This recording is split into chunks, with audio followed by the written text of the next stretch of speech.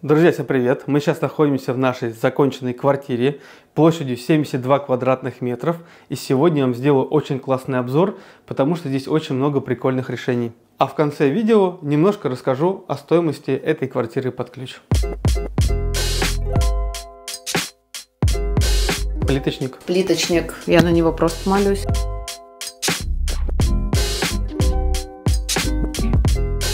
То есть основная претензия сейчас это затянули по срокам. Пусть лучше вас э, ненавидят два месяца за сроки, чем всю оставшуюся жизнь за качество. Начнем с вами с прихожей. Во всей квартире не делалась никакая гладкая покраска, только декоративная штукатурка на кухне. И во всей квартире сделаны флизелиновые обои.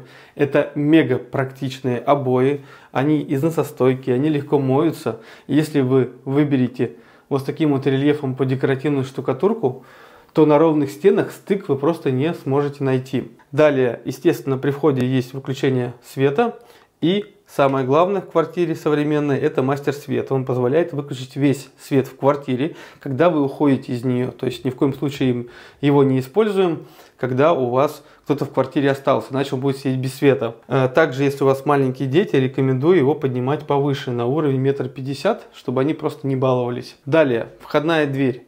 Самое практичное решение – это отделывать откосы входной двери из добора с наличником. Если вы здесь делаете гладкую покраску или эти же самые обои, вы будете постоянно ходить, шаркать по этому, и естественно все это через пару лет придет в негодность и будет смотреться просто ужасно. Смотрите, небольшой лайфхак. Если вы не хотите куда-то устанавливать отдельно на стену зеркало, вы можете его установить на фасад входной двери. И обязательно фасад заказываем в одном стиле с добором и наличником и с межкомнатными дверьми. По-моему, очень классное решение, особенно если у вас очень маленькая квартира, она позволит вам иметь такое вот большое хорошее зеркало. Что еще очень важно и интересно, посмотрите, коробка двери тоже перекрыта наличником. Всегда просите у дверщиков, чтобы они так делали, чтобы коробка не выделялась. И самое главное, снизу, когда вы ставите наличник, у вас перекрывается зазор демпферный между плиткой и кварцвинилом и дверью, чтобы здесь потом не ставить никакие уголки, не делать никакие силиконы. Очень интересно здесь сделана прихожая. Э, как здесь получилось по планировке? С этой стороны сделана прихожая и санузел в ту сторону уменьшен, а вот здесь внутри с той стороны находится санузел и здесь за стеной находится душевая кабина. Очень интересное решение. Во-первых, здесь есть крючки для размещения временной одежды. Вон там вот находится шкаф, полноценная гардеробная, куда вы можете всю одежду убрать внутрь, хранить ее там. И что мне здесь очень нравится. Первое, здесь есть полочка для хранения обуви снизу. Но я бы лучше сделал бы их открытыми, чтобы каждый раз не открывать. И посмотрите вот на этот пенал. Доступ к нему находится вот отсюда.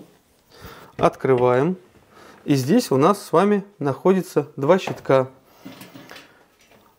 Силовой с автоматами. Все распределено по группам. Обратите внимание, в квартире 72 квадрата сколько должно быть группы автоматов. То есть здесь не менее 750 погонных метров кабеля раскинуто. Далее второй щиток слаботочный. Здесь у нас с вами находятся трансформаторы, которые как раз таки необходимы для различных светодиодных подсветок. И э, помимо того, что они иногда ставятся где-то в шкафах, вы можете вот таким образом их разместить в слаботочном щитке. На полу уложен кварц-винил, он уложен единым контуром, кроме санузлов. Он практичный, не боится воды, поэтому спокойно можно стелить и в коридоре. Под него также можно сделать электрический теплый пол, но, внимание, греть его можно максимум 27 градусов. Больше кварцвинил греть нельзя. Еще одна интересная особенность, посмотрите, у нас сначала была установлена мебель, потом сделан натяжной потолок. Благодаря этому теневой профиль, посмотрите, идет по всему периметру. Если вы сделаете наоборот, у вас профиль будет заходить внутрь стены, и потом к нему мебель, это будет смотреться некрасиво. А вот это максимально красиво. Но некоторые говорят, что этого есть минус, что если тебя затапливают соседи, то вода сразу же попадает на мебель и может ее испортить. Поэтому рекомендую сразу страховать свою квартиру, чтобы если вам кто-то что-то испортил, вы были застрахованы и потом все могли восстановить. Еще важный момент это крючки. Я, например, обожаю, когда есть прихожая с крючками. Для меня было бы очень тяжело открывать шкаф, постоянно туда на вешалку убирать одежду. Для меня лично надо, пришел, быстро на крючки скинул, обувь сюда поставил и побежал по своим делам. Напишите в комментариях, у кого также. Также обратите внимание, что встроенная мебель стоит на подиуме. Это сделано специально, чтобы у нас скрытый плинтус с подсветкой шел по всему периметру. То же самое можно делать, если у вас обычный плинтус, чтобы его не прорывать, не было разрывов и некрасивых соединений. Ну и невозможно не отметить вот такую вот ложечку. Mortal Kombat, кстати. Классная штука, да? Мальчику 36 лет. По всей квартире сделаны натяжные потолки с современной системой встроенных трековых светильников. Это очень классное топовое решение. Всем рекомендую на них накопить, хотеть, желать, мечтать и у себя их поставить. Во-первых, светильников можно ставить сколько угодно, их можно ставить с Bluetooth управлением, менять там, холодный, теплый свет и прочее. Очень классное решение, очень современное. Я думаю, оно очень много лет не будет устаревать. Далее вот здесь у нас в нижней находится встроенный шкаф. Точно так же он был смонтирован до потолка, поэтому у нас с вами идет полностью теневой профиль. Его видно, и это смотрится очень современно и красиво. И также шкаф стоит на подиуме. Это очень классное решение, применяйте его у себя, чтобы потом не подрезать плинтус. По левой стене у нас с вами сделана фреска, если вы посмотрите, и стоит скрытая дверь. Очень красиво это смотрится. Далее мы с вами попадаем в санузел. Обратите внимание, что заказчик очень классно подобрал кварцвинил и керамогранит. Да, они немножко не сходятся по размеру, но тем не менее по цвету очень похожи. Кварцвинил в санузел ни в коем случае не рекомендую стелить, чтобы вам не говорили, у кварцвинила не герметичные стыки.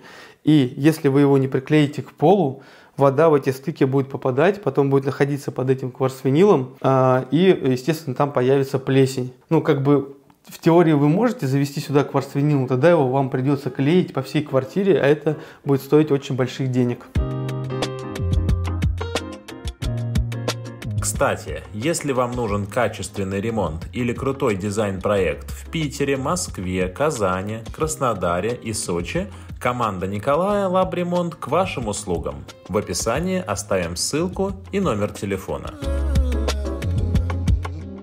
Далее мы с вами попадаем в санузел 4,5 квадратных метра. И вот как раз, видите, здесь выступ, за ним находится прихожая со стороны коридора, а вот здесь находится ниша с душевым подиумом со стеклением. Вот таким образом у нас открывается с вами стекло. Есть небольшой порожек, обратите внимание, для того, чтобы вода не переливалась. Сделана разуклонка. Стоит трап-лоток фирмы, вижу, что это ТС. Здесь декоративная зеленая плитка, смеситель встроенной системой iBox, между прочим. Широкоформатный керамогранит 60 на метр 20, вентилятор, натяжной потолок, также система Еврокраб. И здесь сделана ниша с полочкой из керамогранита. Это довольно дорого, потому что все это ручная работа за пилами, а внешние углы отделываются эпоксидной затиркой. Также обратите внимание, что все внутренние углы без исключения проходится силиконовым герметиком под цвет затирки. Никакая цементная затирка туда не делается и эпоксидная, потому что стены очень часто сделаны из разных материалов, они подвижны. Если вы во внутренний угол сделаете цементную затирку, она точно треснет, а эпоксидка есть шанс, что треснет. Поэтому у нас в лабремонт все внутренние углы всегда делаются силиконовым герметиком под цвет затирки тогда никаких трещин не будет. А это очень важно, потому что если вы здесь моетесь, вода как раз таки во внутренних углах стоит дольше всего из-за поверхностного натяжения и может попадать внутрь стены, если не будет здесь у вас все герметично. Точно так же все примыкания подиума у нас тоже выполнены по периметру из силикона. Обращайте на это внимание. Это уже, скажем так, правило дурного тона. Если вы видите, что вам во внутренний угол делают обычную цементную затирку, сразу же бейте по рукам. Только силикон. Далее кварц-винил, положенный единым контуром по всей квартире, у нас стыкуется с керамогранитом через Т-образный алюминиевый клеевой порожек под цвет профиля скрытой двери. Откосы сделаны э, из керамогранита запилом под 45, шикформатный керамогранит 60 на метр 20 и здесь рельефная 3D плитка. Посмотрите, как на инсталляции аккуратно сделан скрытый люк шагма. И какого он огромного размера. Здесь примерно метр на метр двадцать. Вот такая вот грамина, которая весит очень много килограмм. При этом эти люки никогда не провисают. На них даже можно еще дополнительно висеть. Открываются они одним нажатием. Открываются они одним нажатием очень легко. Также открываются. И вот прямо видно, что люк огроменный а стык аккуратненький и ровный. Такой себе могут позволить только люки Шагма, потому что все алюминиевые люки, они сразу же провиснут даже э, размером 60 на 60, как показывает практика, через 2-3 года он уже цепляет нижнюю плитку. Но наши заказчики пошли дальше. Во-первых, они поставили поворотный полотенцесушитель с терморегулятором. Это мега практично. Забудьте про водяные полотенцесушители, это зло. У них огромный шанс протечки, и вы на них не будете датчики протечки ставить. Электрические безопасные, работают круглый год, и как видите, бывают поворотные. Так вот, Здесь поставлен поворотный. Почему? Потому что, смотрите, еще один скрытый люк шагма, за которым спрятаны все рыльно-мыльные принадлежности и разная бытовая химия. Насколько это классное решение. А снизу сделали посмотрите нишу и туда поставили корзину для грязного белья. Насколько все это практично и классно.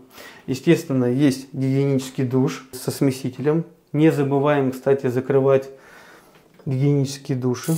Кстати, вот, прикиньте, потек, смотри, под давлением, да. Я когда снимал видео, его не закрыл. Смотри, вода. Офигеть. Так вот, посмотрите, видите, вода. Если вы гигиенический душ оставите под давлением, мало того, что остатки воды могут вытекать из лейки, видите, то вот эти вот резинки, которые от руки закручены, могут частично протекать у вас. Поэтому, когда вы пользуетесь гигиеническим душем, всегда его закрывайте, потому что это мина замедленного действия. Если у вас нет датчиков протечки, вы просто можете через гигиенический душ залить свою квартиру и все остальные. Только что снимали ролик просто, что нельзя оставлять. И сам же оставил, пока снимал. Поэтому очень осторожно с гигиеническими душами. Под давлением их не оставляем. Мало того, перед тем, как его оставили, лучше еще и давление спустить. Потому что если вы просто перекрыли, там все равно остается давление, и потом все это может вытечь вам на пол. Так, продолжим.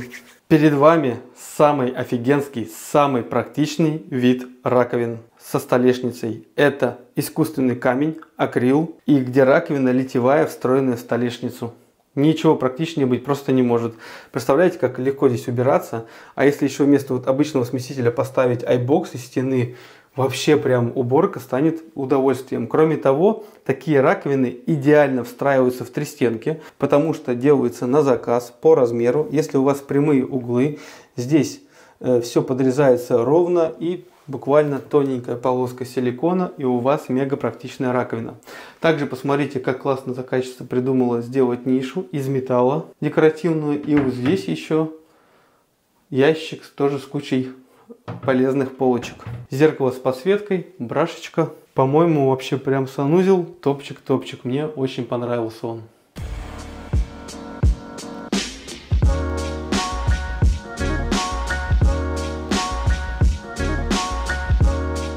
Не забудьте подписаться и поставить палец вверх. Это очень поможет нам в продвижении.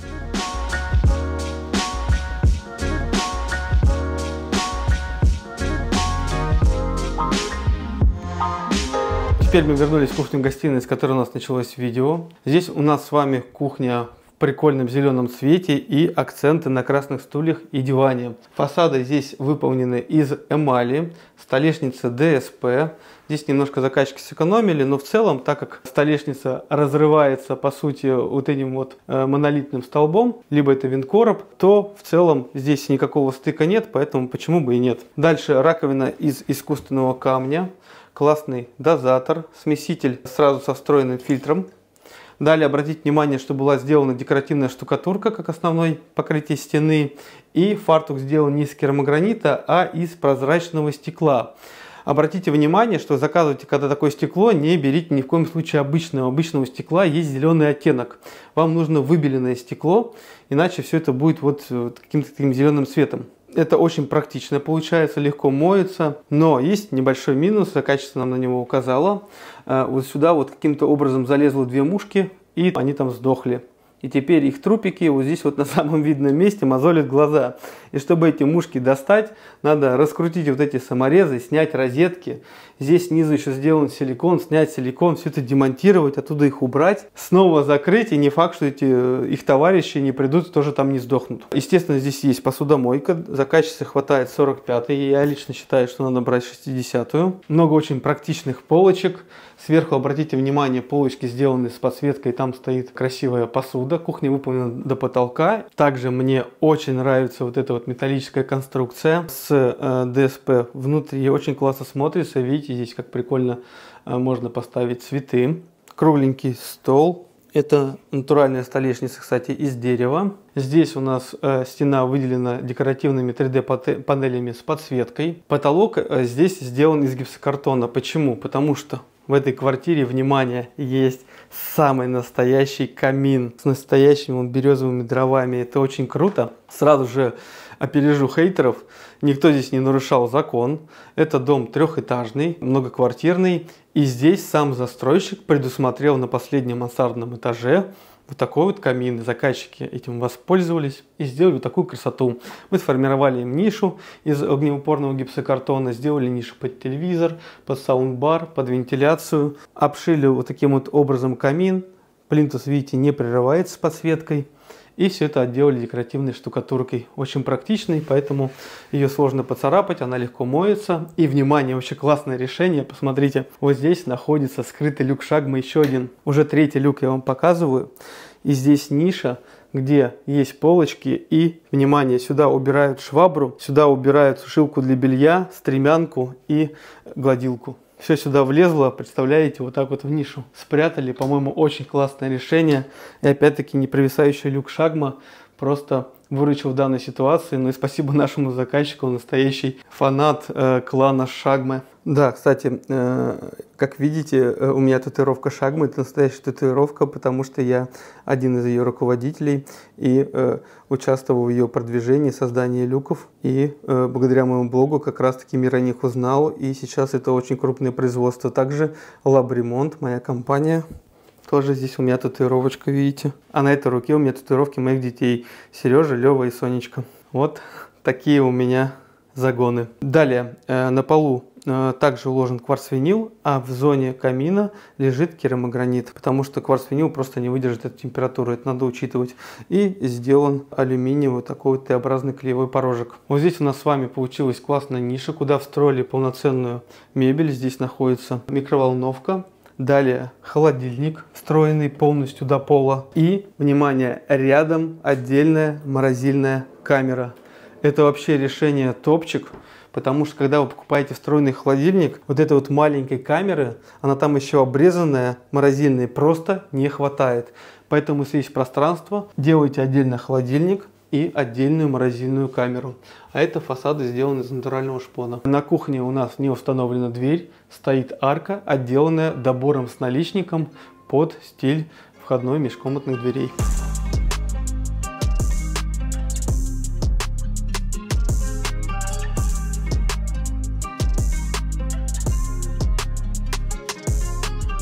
Теперь входим в шикарную спальню площадью примерно около, наверное, 12-14 квадратов. Здесь все сделано э, обоями по декоративную штукатурку и вот такая вот классная фреска.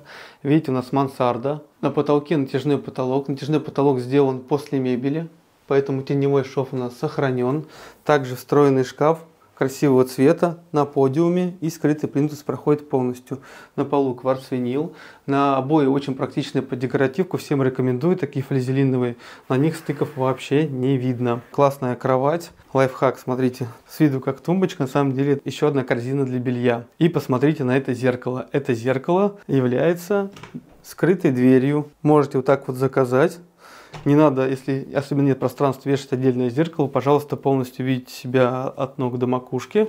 И здесь находится второй санузел. Здесь заказчики почти отказались от плитки. Плитка сделана только над раковиной, рельефная такая. Зеркало со скрытой подсветкой. Все остальное в покраске. Раковина из искусственного камня. И это идеальный вариант для встраивания в три стенки. Посмотрите, как аккуратно все получилось в покраске. Уже после отделки заказали Раковина встроенная, мега практичная, легко моется и все очень аккуратно смотрится. А вот здесь, внимание, немногие видели такой материал, это алюминиевые панели. На них наносится принт. Видите, минимальные какие-то стыки. И здесь четвертый люк шагма. Вот таким образом открывается. Здесь полочки с равномольными принадлежностями. Люк уходит у нас здесь внутрь стены. Поэтому примыкание максимально симпатичное. Посмотрите, видите? Вот он уходит внутрь стены по технологии. Все очень аккуратно смотрится. Все это легко открывается. Эти панели не боятся влаги, легко моются, убираются. Вот такое классное решение. И потолок тоже уже сделан после них. Поэтому теневой профиль идет по всему пери периметру. А это вентилятор. Также посмотрите, какие огромные окна, сколько попадает света в спальню и как сделан карниз. Под углом сделаны шторы. Здесь еще один карниз, за который цепляются шторы. И все это также на карнизе двигается.